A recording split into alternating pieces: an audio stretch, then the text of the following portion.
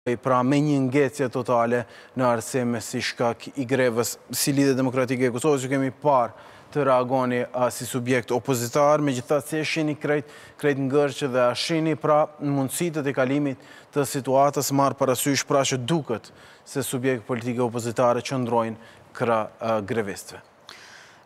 Si asnjëherë në historinë e Kosovës, i gjithë sistemi i arsimit është i blokuar, është në një kolaps përpara një kolapsi, vetëm për shkak se kjo qeveri nuk ka dashur të gjejë një zgjidhje për të filluar mësimi.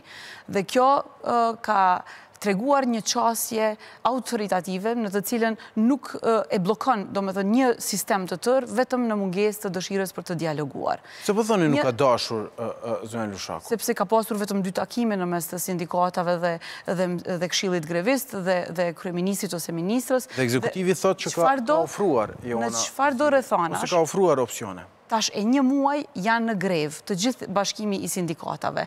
Po qe, po qe se do të kishte një negocim, do të prodhojë një marrëveshje.